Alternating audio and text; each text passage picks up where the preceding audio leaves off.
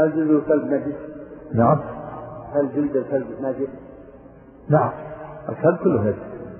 كله نجس. لكن إذا ما مسست الكلب بيدك وهو يابس فيترطب لا لا بد من الغسل وإذا ولد في الإناء فلا بد من الغسل سبحان الله. هنا بالتراب كلب نجس. لكن هل يدخل جلده بالدماغ؟ في خلاف. مسألة فيها خلاف بين أهل العلم. دباغ جلد ما لا يؤكل أما ما يؤكل لحمه فإنه يطرب بالدباغ كما ثبت أن الرسول قال لميمونة لما مات الشاب هل أخذتم جلدها فدبغتموه فانتفعتم به؟ فجلد مأكول اللحم الميتة ميتة مأكول اللحم فلا يطهر الدباغ أما غير مأكول اللحم ففيه خلاف. بعض أهل العلم يرى أنه يطرب بالدباغ جلد النمر. أو جلد الكلب أو جلد الخنزير أو جلد وضع الذئب وما أشبه ذلك السباع هذا محل خلاف. بعض أهل العلم يرى أنها تطهر قال آخر من العلم لا تطهر واستدلوا بقوله كما جاء في الحديث دباغها نكاتها الدباغ منزلة الزكاة. والزكاة إنما تحل مأكل اللحم. لكن السباع لو نفسها ما تحل الزكاة. على كل حال فيها خلاف وقل بأن تطلب الدباغ قول قوي لكن الأحوط الاقتصار على مأكل اللحم نعم. على الدباغ في مأكل نعم. الفتوى على انها على أنها لا تطلب الدماء وقول الآخر أن نعم. فضيلة الشيخ حفظه الله تعالى ورعاه. أشكلت علي مسألة وهي هل الطواف بالقبور شرك على الإطلاق أوضحوا لنا الأمر مأجورين وجزاكم الله خيرا. إذا طاف بالقبر تقربا لصاحب القبر هذا اسم يكون شرك. لأنه صرف نوع من أنواع العبادة. أما إذا طاف بالقبر تقربا إلى الله. يظن أنه يجوز يطوف بالقبر فهذا بدعة. لأنه ما تقرب إلى القبر تقرب إلى الله لكن ابتدع الطواف بالقبر. فإذا طاف بالقبر يتقرب به إلى صاحب القبر صار كفر شرك. لأن الطواف عبادة لكن إلا إلا لله في بيت الله أما إذا طاف بالقبر لله طاف على الحجر قبر النبي صلى الله عليه وسلم أو لأي قبر أو بنية يتقرب إلى الله فهو بدعة نعم فضيلة الشيخ أملك سيارتين تحمل البضائع من منطقة إلى أخرى ويوجد معي شريك في هاتين السيارتين وله رغبة في تأمين السيارتين وأنا متحرج من الموضوع فما رأيكم جزاكم الله خيرا. تأمين؟ نعم الله. تأمينها؟ نعم. على كل حال تتفقون في هذا وإذا لم تتفقوا تتبايعون كل واحد يأخذ نصيبه نعم فضيلة الشيخ السلام عليكم ورحمة الله وبركاته. عليكم السلام. أيهما أفضل أن أحضر الدروس أتعلم أحضر الدرس أتعلم فيه أم أذهب وأعلم من هو أقل مني علما إذا كان ذلك في وقت واحد. وجزاكم الله خيرا. الأفضل تتعلم وتعلم في وقت آخر تجمع بين الشتين تتعلم في في وقت وتعلم في وقت آخر لا يكون في وقت واحد. نعم. إذا فات وقت الأذان فهل يؤذن المؤذن أم يكتفي بالإقامة؟ إذا كان في البلد لا يحتاج الإقامة حتى لا يشوش أما إذا كان خارج البلد يؤذن وما حكم لأن في البلد أذن أذن الناس حصل الأذان نعم وما حكم تشبيك الأصابع أثناء المكوث في المسجد بين الصلاتين؟ إذا كان ينتظر الصلاة لا تشبك بين الأصابع أما إذا قرب الصلاة فلا نعم كما في الحديث يشبك بين الأصابع فإنه في صلاة. لأنه منتظر الصلاة يحكم المصلي أما إذا قوت الصلاة فلا بأس لأن النبي صلى الله عليه وسلم صلى الصلاتين بعد الصلاة بعد صلاتي العشي فقام إلى قام إلى خشبة معروضة اتكى عليها وثبت بين أصابعه يعتقد أنه من هذا الصلاة. نعم. ما الحكم إذا صلى الرجل مع أخيه الذي يصلي الفريضة؟ وقت النهي تنفلا؟ تنفل؟ لا لا يصلي لكن إذا كان فريضة صدق عليه. الناس في العادة يصلي أما في لكن لا يتنفل. نعم. إذا يقدر في الإسلام نعم. فضيلة الشيخ ما هو يوم الحج الأكبر وما هو ما هو الأفضل؟ يوم عرفة أم يوم النحر؟ في في قولان لأهل العلم قيل يوم الحج الأكبر يوم عرفة. وقيل يوم العيد. والصواب أنه يوم العيد. الصواب أن يوم الحج. الأكبر هو يوم يوم العيد. وهو يوم الحج الأكبر لأن فيه معظم أعمال الحج. فيه الرمي رمي جمرة العقبة وفيه الذبح وفيه الحلق وفيه الطواف وهو يوم الحج الأكبر وهو أفضل الأيام. الأفضل الأيام على الإطلاق ثم يليه يوم عرفة هذا هو الصواب. فضيلة الشيخ السلام عليكم ورحمة الله وبركاته. وعليكم السلام ورحمة الله وبركاته. مس الإليتين. هل ينقض الوضوء؟ نعم. مس الإليتين. هل ينقض الوضوء؟ لا. مس الفرج. إذا مس الفرج القبل أو الدبر أفضى إليه بيده بكف ظهرها أو بطنها بدون حائل أما إذا كان وراء ثوب نعم. كذلك الطفل الصغير والكبير على الصحيح ينقض الوضوء. نعم. وحمل الصبي في الحج هل لا بد له من نية أم تكفي نية الحامل له؟ إذا يعني في الطواف. الأفضل والأحوط أن يطوف له شيء للمحمول طواف ويطوف لنفسه طواف. هذا هو الأحوط خروجا من الخلاف. وبعض العلماء يرى أنه إذا كفى بنية واحدة كفى. لكن ما دام لا يروي فالأحوط في هذا أن أنه يطوف النفس طواف مستقل ثم يطوف بالصبي والسعي. والسعي كذلك. سعيين ما يشق نعم نعم يسعى بنفسه ويسعى إلا إذا كان في عربة لكن ما يقال عن باب إذا كان في عربة لا بأس يكون له نعم. ما حكم قول صدق الله العظيم بعد قراءة القرآن؟ الأولى تركها لأن ما كان السلف يفعلون نعم. يقول فضيلة الشيخ أرجو تنبيه على ما يقع به بعض المدرسين أنهم يكتبون على السبورة مادة القرآن. مادة؟ مادة المادة قرآن إيه. كان يعني يقول إن هذا خطأ. مادة يعني القرآن كلام الله. ليس مادة لكن مقصودهم المادة العلم يعني. هذا هو المقصود. هم مقصودهم انه إن القرآن ذات. القرآن كلام الله لكن مقصوده بالوقع مقصود المادة العلم يعني. ولهذا بعض بعضهم يكتب العلم. العلم في القرآن. العلم في التفسير. يكتب العلم أحسن. نعم لا بأس المقصود ما هو المقصود العبرة بالمقام ما هو المقصود انه إنه اذا ان القرآن مخلوق؟ لا. نعم الدرس. نعم الدرس أو العلم القرآن. أحسن نعم. فضيلة الشيخ إذا قضى الشخص حاجته ثم توضأ وبقيت في يده رائحة يسيرة. رغم أنه غسل يده جيدا فما حكم صلاته؟ مستحب غسلها. إذا غسلها بالماء لكن الأفضل يغسلها بشيء من الصابون. نعم. هل هناك أدعية مشروعة عند الصلاة على جنازة الأطفال؟ نعم يدعى يدعى لوالديه. اللهم اجعله ذكرا لوالديه وفرضا وأجرا وشفيعا مجابا. اللهم ثقل به موازينهما واعظم به اجورهما والحقه في صالح سلف المؤمنين وجعله في كفاله المعين وقي برحمتك على المسلمين ورد هذا بعد ان تدعو بالدعاء العام اللهم في حينا وبيتنا وشاهدنا وغائبنا إلى آخر الدعاء المعروف. نعم. إذا سمعت أذان بلدة ما في المذياع هل يجيب المؤذن مع أن الوقت ليس وقت صلاة ولا أذان في البلدة التي أنا فيها؟ إذا كان على الهواء فلا بأس يجيبه. أما إذا كان تسجيل فلا إذا دخلت في صلاة الجنازة وقد فاتني فاتتني الفاتحة والصلاة على النبي صلى الله عليه وسلم. هل أتم الصلاة أم أقرأ أقرأ ما فاتني؟ كيف تصلي على الجنازة؟ إذا دخلت في صلاة الجنازة قد فاتتني الفاتحة والصلاة على النبي صلى الله عليه وسلم. هل أتم الصلاة أم أقرأ ما فاتني؟ ما تدركه من التكبيرات أول الصلاة.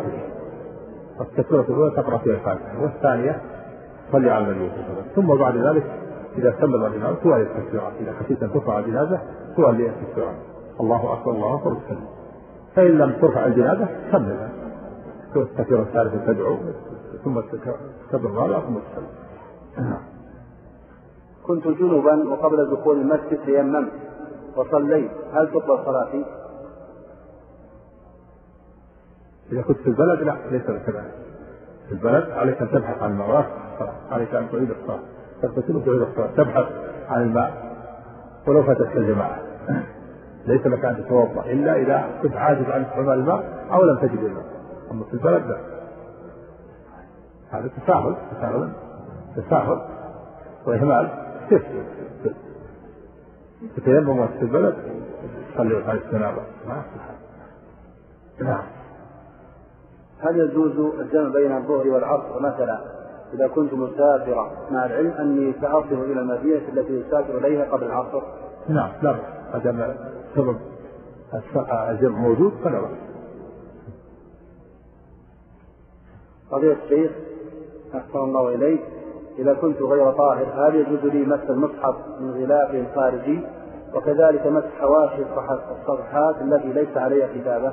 لا لا لا تقول العلماء لا نحدث بالعلاقة تحمل بالعلاقة أما المصحف لا تمس بيدك إلا من وراء حائل. نعم. هل الاستخارة تكون في التردد بين شيئين؟ أم لابد من الجزم على أحد الشيئين ثم يستخير فيما جزم عليه فقط؟ إذا كان جازم على أحد الشيئين ما في استخارة، الاستخارة إذا لم يظهر له وجه المصلحة، أما إذا جزم إذا كان عازم على أحد الأمرين ما في استخارة. قال الشيخ أحسن الله إليك إذا كنت أتوضأ ثم خرج مني ريح مع أني في بداية الوضوء هل أعيد الوضوء أم لا؟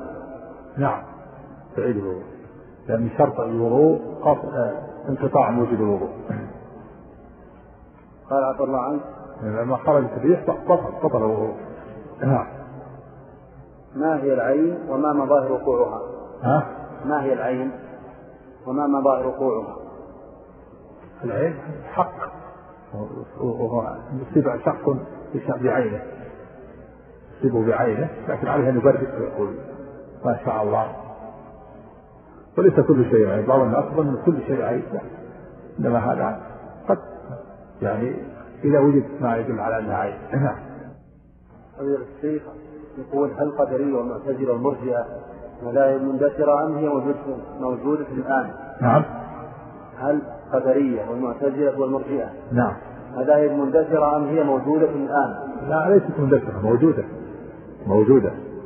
قدرية والمرجئة والجهمية والمعتزلة والخوارج كلهم موجودون. الخوارج موجودون الآن. في المغرب وفي عمان البعضية من الخوارج. الشيعة طبقات أيضا موجودون في كل مكان. والجهمية موجودون الآن. الجهمية بل الاتحادية التي توضح الوجود موجودون الآن. كلهم موجودون. كل هذه المذاهب موجودة. قائمة على قدم وساق لها أصحاب ولها رواد ولها مؤلفات. محقق المؤلفات. نعم. المعلوم أن الحائض لا تطوف بالبيت حتى تطهر فما الحكم في من تأتي في حملات من خارج المملكة أو داخلها ثم تحيض وليس هناك وقت لانتظارها حتى تطهر هل تطوف بالبيت وهي حائض؟ لا لا تطوف. الفتوى على أنها تبقى يبقى معها وليها. فإن لم يستطع تذهب وترجع. تذهب وترجع. فإن لم تقدر فهي تكون مفطرة. تكون مفطرة تذبح وتتحلل ويبقى الحج في ذمتها. فذهب شيخ الإسلام ابن تيمية رحمه الله إلى أنها إذا اضطرت إلى هذا وهذا لا يكون إلا لمن تكون خارج المملكة تكون بعيد. في المشرق أو في المغرب بعيدة ولا ولا يمكن رجوعها. شيخ الإسلام أفتى بأنها في هذه الحالة بالضرورة تتلجم تسدد وتكون في الضرورة. بعضهم أوجب عليه ذنب قبل هذا. والقول الثاني أنها أنها تكون مفطرة إذا عجزت تكون مفطرة يعني تذهب يذهب بها وليها ويرجع بها إن استطاع فإن لم تستطع كانت مفطرة مثل الممنوع. مفطرة شرعا مثل الممنوع الوصول به. تذبح في مكانها ثم تتحلل. ويبقى الحج في ذمتها نعم. فسبع قدر حجة نعم. كيف نجمع بين قوله تعالى لا تجد قوما يؤمنون بالله واليوم الآخر يوادون من حاد الله؟ الآية. مع جواز الزواج الكتابية وهي كافرة فالزواج يحصل به مودة بين الزوجين. لا يلزم ذلك المودة الدينية. ما ما في تلازم بينها. يتزوج الكافرة ولكن لا لا يحبها دينا. والمحبة طبيعية ما تنافي محبة الجائع للطعام والضمان للشراب محبة التي بين الزوجين وبين الأخوة هذه محبة طبيعية. أما المحبة الدينية لا. ما يلزم ما يلزم محبة دينية. ويكره ويكره دينها ويبغض دينها لكن الله أباح له ذلك. و... و... والأفضل عدم التزوج الكتابية. لكنه جائز. نعم. هل ورد التعوذ من الشيطان بعد التثاؤب؟ ما ما أذكر شيء. لكن ورد كظمه يعني يشرع الإنسان أن يكذب أن يكذب ما استطاع يضع يده ويكتب ما استطاع نعم. هل خط الصفوف في غير الجمعة صحيح؟ لا يجوز خط الصفوف. لا في الجمعة ولا في غيرها. لأنها في أذية لا يجوز إلا إذا وجد فرجة. فإنه يسدها ويكون الذين الذين لبسوا الفرجة أصحاب الحق. هم هم الذين تركوا هذه الفرجة فهو مضطر إلى أن يسد الفرجة. أما خط رقاب الناس بدون مسح فلا فلا يجوز. حرم نعم. لها عذاب. نعم في أذية. الناس نعم. ما معنى لا يرد القدر إلا الدعاء؟ يعني أن الدعاء من القدر. قد يجعل الله. القدر معلق بالدعاء. والدعاء والقدر كلاهما مقدر. جاء في الحديث انهم يعترجان. أيهما أقوى غلب صاحبه فهو في الدعاء من القدر. نعم. إذا كان إذا كان القدر غير غير معلق على شيء. مثل صلة الرحم سبب في طول العمر. فصلة الرحم القدر يعني قدر الله أن هذا يطول عمره بصلة الرحم. وقدر أن هذا يقصر عمره بقطيعة الرحم. قدر أن هذا يحصل له هذا المطلوب بالدعاء. وقدر أن هذا لا يحصل له المطلوب بترك الدعاء. نعم. فضيلة الشيخ يقول عندي ساعة مطلية للذهب فما حكم مثلها وإذا كان لا يجوز فما حكم بيعها؟ وإذا كان لا يجوز فماذا أصنع بها؟ لا يجوز للإنسان أن يذبح. للذكر الذهب والفضة إلا خاتم الفضة فقط يجوز للرجل. وما عدا فلا يجوز أن يستعمل الذهب ولا مطلية المطلي لا يجوز لكن يبيعها لكل المرأة لا بأس. يبيعها تكون المرأة تلبس يعني المرأة إلا تحلل بالذهب نعم. نعم. الكفار لا بأس لأن ثبت أن أن النبي صلى الله عليه وسلم لما أعطى عمر رضي الله عنه ثوب من الحرير وقال يا رسول الله إنك منعت منه ثم أعطيتني؟ قال لم أعطك بكلمته فأهداه لاخ له يشرك في مكه فلا بأس لأنه إذا ما يلتزم بالشرع نعم. ما معنى كلمة وأيم الله؟ حلف كعيم الله قسم عيم جمع يمين نعم. ما حكم تجافي المرأة في السجود وهل ورد شيء في السنة عن تجافي المرأة؟ نعم إذا كان فإنها كما الرجل. كما كما ذكر البخاري رحمه الله. نعم. قول بعض الفقهاء أنها تضم نفسها. ليس عليه دليل. ولهذا قال كانت أم الدرجة كانت تتورع وكانت فقيهة. يعني كالرجل. نعم. طبعا عنك هل المجنون هل على المجنون زكاة في ماله الذي استدانه وهو وهو لا يملك هذا المال بعد حلول الحول عليه؟ هل على المجنون زكاة في ماله الذي استدانه وهو لا يملك هذا المال بعد حلول الحول عليه؟ إذا كان عنده مال عليه أن عليه أن يزكيه. أما إذا لم يكن عنده إذا كان دينا له على شخص فهذا إن كان معسرا أو مماطلا سديد الفتوى لا يزكيه إلا إذا قبضه وإن كان مليا يدفعه متى طلبه يزكيه مع ذلك أما إذا كان على معسر أو مماطل لا يزكيه إلا إذا قبضه نعم. فضيلة الشيخ أحسن الله إليك إذا نويت أن أقطع صلاة النافلة التي يخفيها في الليل إذا أحسست أن أحدا سوف يراني هل صلاتي صحيحة؟ مع العلم أني أنوي هذا الفعل قبل بدء الصلاة صلاة الليل وذلك لأخفي عملي إذا إذا إذا نويت خطأ الصلاة انقطع إذا نويتها في أثناء الصلاة. أما قبل لا. لكن ما ينبغي الإنسان الصلاة الحمد لله لا يضر. صبر على صلاته الحمد لله. نعم. لو غلب على ظني أن أهل البيت لم يسمعوا طرق الباب هل أزيد على ثلاث؟ لا السنة ثلاث. لا تزيد على ثلاث. نعم. مؤذن له غرفة بجانب المسجد وبينها وبين المسجد حوالي مترين مترين. وهي تابعة للمسجد. فهل له أن يدخل ويخرج. لا ويجلس دون دون أن يصلي. تحية المسجد. ويجلس دون إذا كانت الغرفة إذا كانت الغرفة داخل سور المسجد فهي تابعة أما إذا كانت خارج سور المسجد فليس لها حكم إذا كانت داخل داخل في الصرحة مثلا داخل المسجد.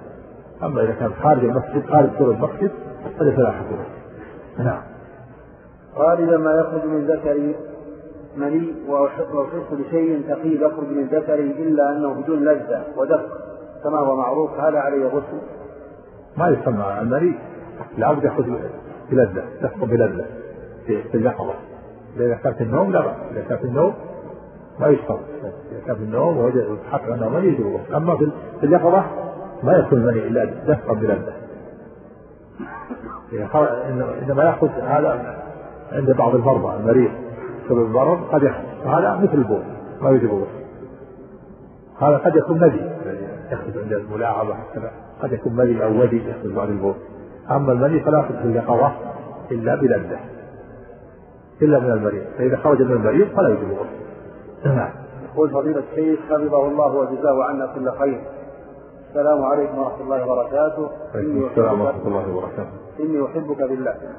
نسأل الله أن يكون حبيب الله. حبك الله نعم. أرتبط إلى فضيلة الشيخ شاب وهذه الرابطة منطلقة من المحبة والأخوة في الله ولكن هذا الشاب بدأ بدأ بدأت عليه أو ألحظ عليه بعدا عن مجالسة الصالحين مع فتور في جوانب الطاعات والعبادات وركون إلى الدنيا. وكذلك وقوعه في بعض المعاصي ولذا أرجو من فضيلتكم توجيه كلمة إلى هذا الشاب وغيره ممن حاد عن هذا الطريق وكذلك لا تنساه حفظكم الله من صالح دعائه. نسأل الله لنا وله الهداية، نسأل الله أن يهديه. عليك أن تنصح ننصحه بأن يتقي الله عز وجل ويحافظ على حقوق التوحيد والإيمان وهي الواجبات أداء الواجبات وأداء الفرائض والنهي عن المحرمات وأن يلزم الطاعة وأن يحذر من المعصية لأن الإنسان قد قد ينكر به. هذه المعاصي قد تكون سببا في سوء الخاتمة ولا حول ولا قوة إلا بالله. فالواجب على أن يتقي الله وأن يحذر وأن يحافظ على ما أوجب الله عليه ينهي عن ما حرم الله عليه. وأنت عليك أن تناصح تناصحه وتدعو له تأتي أيضا تطلب من بعض الإخوان من بعض طلبة العلم أن يناصح. لعل الله أن يهديه ولعله يرجع إلى ما كان عليه سابقا نعم. كبير يقول عفى الله عنك هل الإصرار على الصغائر سيرها من كبائر؟ هل الإصرار على الصغائر سيرها كبائر؟ نعم قال بعضهم أن الإصرار يسوي يوصل غيره قال تعالى ولم يصروا في وصف المستقيم ولم يصروا على ما قالوا وهم يعلمون ما حكم الختان في حق المرأة والرجل؟ في حق الرجل واجب. حق الرجل الذكر واجب. واما المرأة مستحب جمهور العلماء. ما حكم من ترى الذهب إذا وجد خاتمة إذا وجد خاتمة تحت البنات. والصغار أو يحسن الختان مستحب نعم. لا ما يجوز. نعم. ذكر المفسرون علماء في تفسير ولايات العشر أنها أيام عشر الحجة. فما صحة ذلك وإذا كان صحيحا فلماذا لم يقل أيام العشر؟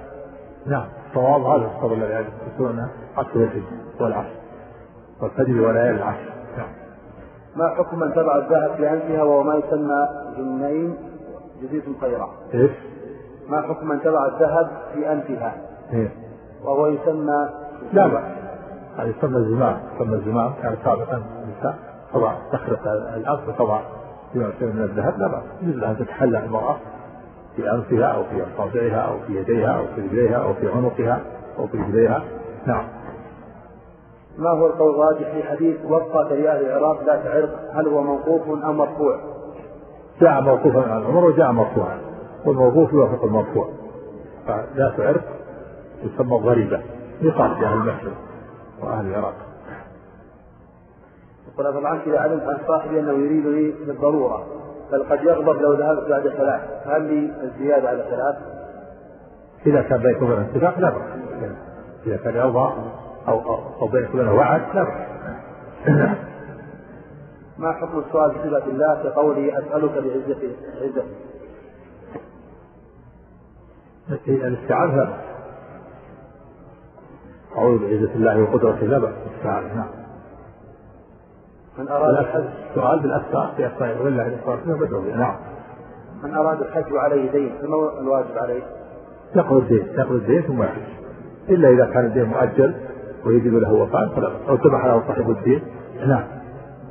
أعطيت صدقة وهي زكاة المال وطلب مني أن أعطيه أحد الفساق ومعلوم عنه أنه يستخدم السحر. فهل يجوز لي أن أصرفها إلى غير هذا؟ تردها عليه وتنصح. إذا كان يستعمل السحر وإذا كان يستعمل السحر فهو كافر أو فاسق. ساحر كافر يقول الله صلى الله عليه إذا أنت عليك أن تردها عليه تنصحه نعم. نعم. يذهب إلى الساحر ويفهم أن إيه. يطلب من الساحر أن يفقه متعاون مع هذا الاسم والعدوان. من أتى كاهنا قد صدقه بما يقول فقد كفر على خطأ. على خطأ. إذا صدقه ورضي بفعله كفر. إذا كان يقصد الشياطين الساحر ورضي بفعله وقرر على ذلك كفر. الراضي كالفاعل صلى الله عليه وسلم. نعم. هل اما إذا فعل طاعة طاعة للشيطان طاعة له الشيطان ويعلم أنه يعتقد أنه حرام لكن حتى يضر هذا يكون عاصي نعم. هل يأثم الشخص إذا ألقى شيئا فيه ذكر اسم الله تعالى في براميل الزبالة وماذا عليه أن يفعل علما أنه لم ينتهي الإهانة؟ نعم. هذا الإنسان أنه إذا كان فيها أوراق فيها ذكر الله يحرقها أو يدفنها في أرض طاهرة. نعم. هل على السائق أن يقصر في الصلاة في السفر؟ نعم. أي سائق؟ نعم. سائق كغيره. إذا كان مسافر يقصر في السفر. إذا كان له بيت إذا كان له بلد يسكن فيها كغيره. أما إذا كان ليس له مكان. بلده هي هذا معناه مثل قائد الملاح أو السفينة. لكن في الغالب يكون له وقت. إذا كان له أهل بلد يسكن فيها أسبوع أو أسبوعين فهو كغيره مسافر يقصد السفر ويتم إذا وصل إلى أهله. نعم. يقول فضيلة الشيخ نرجو من فضيلتكم حث طلاب العلم على شعيرة الأمر بالمعروف والنهي عن المنكر. لأن كثير لأن المنكرات كثرت فلا بد من حث الناس على لا لا بد. التعاون قال وتعاون على البر والتقوى. قال رأى منكم منكرا فليغيره بيده. فإن لم يستطع بلسانه فإن لم يستطع بقلبه. الإنكار يكون باليد في مكان يستطيع أهل أهل السلطة أو في بيته. أما من لا يستطيع فإنه إذا كان يعلم حكم المسألة يمكن بالنصيحة والبيان. وإذا كان لا يستطيع الترتب على هذا المقصده يمكن بقلبه. بمعنى أنه يكره المنكر ويتباعد عن فضيلة الشيخ حفظه الله ما معنى مدافعة الرياء؟ وهل يكون الإنسان مرائيا وهو لا يعلم مع أنه يكره مع أنه يكره الرياء ويبغضه؟ وهل حب الثناء دون التطلع إليه من الرياء؟ لا, لا يكون الرياء إلا يعلم ما يكون الرياء إلا إذا كان يعلم يعلم الرياء معناه هو يكون في الأفعال يحسن عمله من أجل مراعاة الناس فلا يكون بشيء الرياء بشيء لا يعلم. يعلم هذا. يعلم من نفسه كما جاء في الحديث لما سئل عن الرياء قال يصلي قال فيبين الصلاة لما يرى من نظر رجل إليه. الرياء يكون في الأفعال. والسمعة تكون في الأقوال يحسن قراءته حتى يثني عليه الناس أو يسبح أمام الناس أو يقرأ القرآن أمام الناس أو يدعو إلى الله يأمر بالمعروف وينهى عن أمام الناس حتى يثنى عليه. فيقع في نفسه أنه أنه يراعيه بعمله يراعي الناس بالذكر يسبح أمام الناس ويقع في قلبه أنه حتى يثنى عليه فلان ما شاء الله يسبح انظر فلان يسبح أو يحسن قراءته حتى يقال فلان حسن القراءة أو يزين صلاته ويطمئن فيها ويطيل فيها من أجل الناس. الرياء يكون في الأفعال في الأفعال. لا يكون لا قصد لابد ان يقصد حب الثناء كذلك. فالإنسان يحب أن يثنى عليه بشيء ولا سيما إذا كان الشيء ليس فيه هذا من الرياء. نعم. لكن ليس من ذلك كون الإنسان يعمل العمل ثم يطلع عليه الناس من دون من دون اختياره فيثنى عليه هذا لا يضره. نعم. الشيخ يقول تأخرت عن الامتحان الشهري وطلبت من المدرس إعادة الامتحان فرفض إلا بعذر. فقلت له ليس عندي عذر إلا أن أكذب عليه. فقال المهم أن تأتيني بعذر حتى لو كان كذب وأمرك إلى الله. حاولت معه لكنه رفض إلا بعذر حتى ولو كان كذبا. لا لا كثير. ليس لك أن تكذب الكذب حرام. لا يستثنى إلا في اشياء وليس هذا منها حديث الرجل مع امرأته الصلح وفي الحرب والاصلاح بين الناس. اقنعه إن اقتنع وإلا فلا. فلا فلا تكذب نعم. فضيلة الشيخ هل تكشف المرأة وجهها وكفيها في الحج والعمرة؟ لا.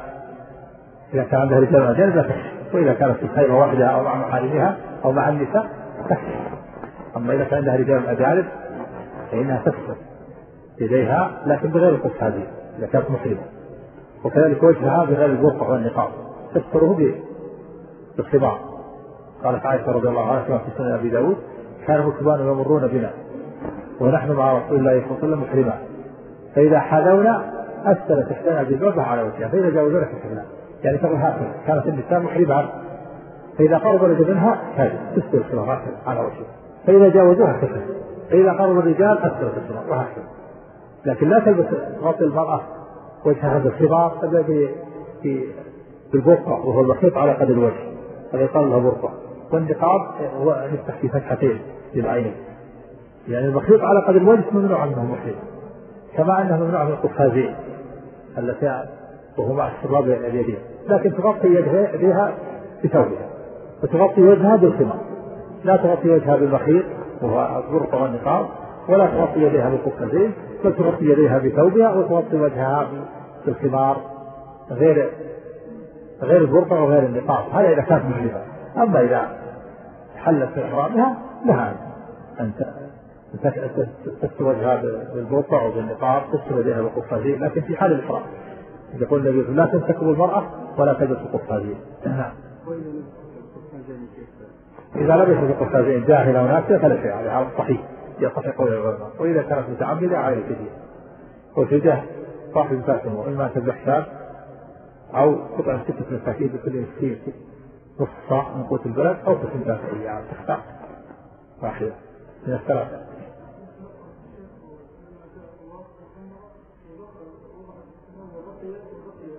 إذا تنقبت وهي محرمة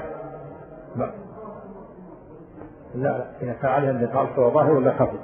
ما يجوز تلبس النقاب المحرم. إذا كانت متعمدة عليه الفدية سواء ظاهر ولا خفي؟ يعني شيء ولا فائدة إذا كانت تأثر عفوا عنه صواب أن الناس كما قال ربنا لا تؤاخذنا صدق الله وتعالى. وإن كان بعض العلماء يفرق بين ما فيه إصلاح وما ليس فيه إصلاح. كالحنابلة وغيرهم يقول مثل حلق الشعر تقليم الأظفار هذا لا يعفى فيه لا عن الناس ولا عن الجاهل وأما تغطية الوجه ولبس المخيط هذا يعفى عنه لأنه ما فيه إصلاح والصوم لا فرق بين الأمرين. الجاهل والناس يعفى عنه في الأمرين. سواء فيه إسلام وما فيه إسلام الحنابلة يقولون اللي فيه إسلام مثل الظهر هذا إسلام وحلق الشعر إسلام. ما ما يعذر فيه لا الناس ولا الجاهل. هذا يجب أما إذا كان فيه ما فيه إسلام مثل تغطية الرأس للذكر تغطية الوجه المرأة وجهها بالخمار غير الخمار بالبرقع والنقاب أو يديها بالقفازين هذا هذا يعفى عنه. يعني ما في ما في ما في إسلام الصوم لا بين الأمرين الناس في وجهه مقرون إنما المتعبد العالم هو الذي فيه فدية نعم. هذه الفدية فضيلة الشيخ هل جلالة المصحف تدخل بمعنى العلاقة؟ نعم. كيف؟ جلالة المصحف يسمى كيف؟ العلاقة السيف الذي يعلق به. السيف الذي يوضع فيه هذا هذا هذا العلاق هذا الكيس ويكون له خيط يحمل الخيط هذا العلاق لا لا لا لا كيس. مراد كيس كيس يجعل المصحف نعم. أما هذا لا يمس إلا من وضع الحال يمس من وضع الحال القصة نعم. ما حكم مرور الرجل بين يدي المأمومين؟ هل سترة إيه؟ ما حكم؟ مرور الرجل بين يدي المأمومين هل سترة الإمام تكفي؟ نعم سترة الإمام كافية إذا مر بين يدي المصلي وهو مأموم فلا إذا ثبت في الحديث الصحيح أن ابن عباس رضي الله عنهما مر بين يدي بعض الصفوف وهو راكب على حمار والنبي صلى الله عليه وسلم يصلي بالناس منى ولم يكن عليه النبي صلى الله عليه وسلم لأن سترة المأموم سترة الإمام سترة للمأموم إنما هذا في الإمام والمنفرد نعم فضيلة الشيخ حفظه الله أشهد الله تعالى على محبتك بالله نسأل الله أن يكون محبة الله لكن هل يجب أن يعرفك من قلت له إني أحبك في الله حتى تكون على منابر النور يوم نعم. القيامة؟ إيش؟ هل يجب أن يعرفك كما السؤال عام من قلت له إني أحبك في الله حتى تكون على منابر النور يوم القيامة؟ جاء في الحديث قال إذا أحب الرجل عبدا فليخبرها فليشد نعم. أليس بخروج النساء ذوات الخدور المصلى؟ أليس؟ بخروج النساء ذوات الخدور إلى المصلى وكذلك خير نعم. بحضور صلاة العيد. دليلا على أن حكم صلاة العيد واجب؟ نعم. استدل بهذا شيخ الإسلام ابن تيمية رحمه الله على أن صلاة العيد فرض. وقال إنها صلاة سنوية يعني فرض. قال والدليل على ذلك أنه أمر بإخراج النساء والحيض وذات الصدور فقال له بعض يا رسول الله المرأة ليس لها جلباب. قال تلبسها أختها من جلبابها وتخرج وتشهد العيد وتحضر الخير وتشفع الذكر. فدل هذا على التأكيد. قال أمر بإخراج العواتق والحيض وذوات الصدور والمرأة إذا تجد جلباب تلبسها أختها من جلبابها مثل العباءة الآن. إذا ما عندها عباءة تكون مع أختها في عباءة واحدة. هذا دل على أن على هذه الأوامر دلت على الوجوب ولهذا احتج شيخ الإسلام رحمه الله بهذه الأوامر على أن صلاة العيد فرض عين. قال بعض أهل العلم أنها فرض كفاية. وقال أنها سنة مؤكدة فالأقوال ثلاثة. كيف نجمع بين شرب النبي صلى الله عليه وسلم قائما في بعض الأحاديث وفي أحاديث أخرى نهى عن الشرب قائما؟ الجمع بينهما أن شربه قائما يحمل على الجواز والنهي يحمل على التنزيل الأكمل الشرب جالسا. و وشربه قائما جائز والقاعدة في هذا أن النبي صلى الله عليه وسلم إذا نهى عن شيء ثم فعله دل على أن نهي التنزيل فعله يصرف النهي عن التحريم إلى التنزيل كما أنه إذا أمر بشيء ثم فعله دل على أن الأمر في الوجود. ومثاله أن النبي صلى الله عليه وسلم نهى نهى عن أمر بالقيام في الجنازة إذا مر. ثم جلس. فدل على أن الأمر في الوجود. لأن جلوسه يصرف عن الوجود إلى الصلاة. وكذلك نهى عن الشرب قائما وثم شرب قائما. كما في البخاري صحيح البخاري أن النبي صلى الله عليه وسلم أهل زمزم ومسطول فشرب وهو قائم. ناوله من جلو فشرب وهو قائم. فيكون فعله عليه الصلاة والسلام يصرف النهي عن التحريم إلى التنزيه. هذا هو الصواب الذي عليه المحققون. أن النبي إذا نهى عن شيء وفعله دل على النهي للتنزيه وإذا أمر بشيء وفعله دل على أن الأمر للاستحباب خلافا لابن القيم رحمه الله في زاد المعاد لأن ابن القيم رحمه الله اختار أنه لا يجوز الشرب قائما في هذا. فذكر بعض أقوال أهل العلم وأنه لا يجوز الشرب قائما ونشدد في هذا. وغلبوا جانب النهي. والصواب هو هذا الجمع بينهما. القاعدة الأصولية. معروف عند أهل الأصول أن النبي صلى الله عليه وسلم إذا نهى عن شيء ثم فعله دل فعله على صرف النهي عن التحريم إلى التنبيه فنقول في هذا إن النهي إن الشرب قائما جائز بدليل فعل النبي صلى الله عليه وسلم ولكن الأكمل والأفضل أن يشرب قاعدا لنهيه صلى الله عليه وسلم نعم. إذا نسي المأموم قراءة الفاتحة في الصلاة السرية والجهرية هل لابد من إعادة الركعة؟ الصواب أن أن الإمام يتحمل إذا نسيت لأنه واجب في حق في حق المأموم. الفاتحة واجبة واجب في حق المأموم ولكنها ركن في حق المنفرد والإمام. الإمام والمنفرد إذا تركها آه، تكون يأتي بركعة تكون ركعة ثانية بدل هذا. أما المأموم إذا نسيها أو قلت من يقول إنها غير واجبة على الصلاة الجهرية أو جاء والإمام راكع ولم يتمكن من قراءته فسر في هذه الحالة. أما إذا تعمد فإنه يأتي بركعة على الصحيح فيها صحيح قول العلماء فيها صحيح أقوال أهل العلم.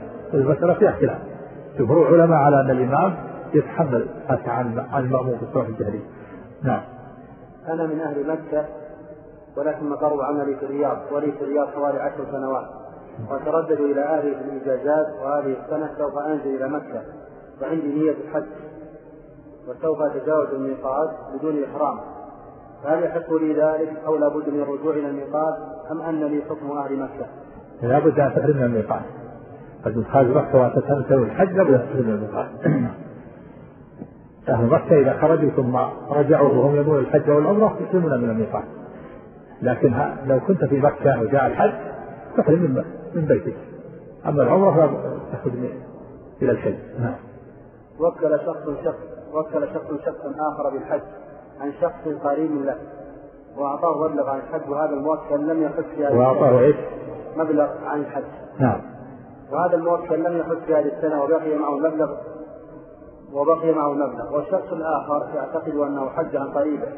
هل يحج عنه في السنة التي تليها علما أنه منعه من الحج في تلك السنة شيء قاهر لا يستطيع تأجيله؟ لا يجوز ليس له ذلك. الواجب عليه أن يبلغه في الوقت الذي ما استطاع فيه يبلغ حتى ينيب عنه. عليه أن يتفق معه. يعلم يخبره الآن ويتفق معه. نعم يتفق مع وكيله. مرة أخرى نعم. لماذا؟ أو ما الحكمة من منع الرسول صلى الله عليه وسلم الحائض من الطواف البيت؟ ها؟ ما الحكمة من منع الرسول صلى الله عليه وسلم الحائض الطواف البيت؟ هل لأن الطواف من شروطه الطهارة أم لأن الحائض لا يجوز لها نصف المسجد؟ للأمرين الطواف لا لابد له من الطهارة والحائض ما تنفذ المسجد الأمرين جميعا نعم يقول عبد الله عنك نرى الآن خطبة في صلاة العيدين يكتبون ثم يخصصون المرأة بكلام الخطبة وذلك مع وجود مكبرات الصوت. نعم لفعل النبي صلى الله عليه وسلم يوجه خطاب النساء كما أن النبي جاء ووجه خطاب إليهم. نعم. لكن يقول هل يقال ما دام الصوت يصل إليهن ولا حاجة تخصيص إلى ذلك؟ لا بل تخصص بالخطاب والصوت يصل إليهن. يخصص يعني أيتها النساء أيتهن النساء عليكن بالمحافظة على أوامر الله عليكن التستر والحجاب. لا بأس. خص فبما هو مستقل نعم.